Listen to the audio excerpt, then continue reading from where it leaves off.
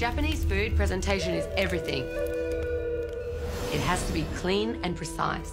Yakitori is a work of art. We use the whole chicken, arteries, the liver. We serve chicken rare in the middle. Chicken heart, definitely not to go in my palate.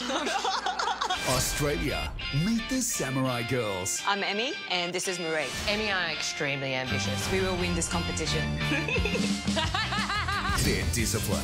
We put in a hundred thousand million percent. Perfectionists. It's not just chicken on sticks. With a killer instinct. Look at these giant hearts. Mm.